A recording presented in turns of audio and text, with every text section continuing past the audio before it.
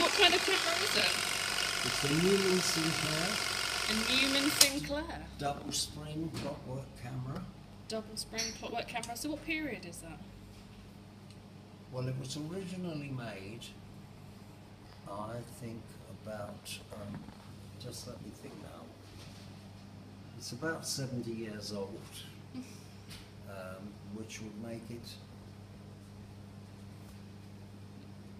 Would- it be 1940s? In the 50s. 50s. 50 no, the 40s, yes.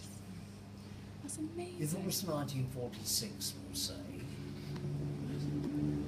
that would be 54 years at the turn of the century, plus 16. Oh, too much 70 maths. years. 70 years. Can you make it click again? C- oh, Yes, of course.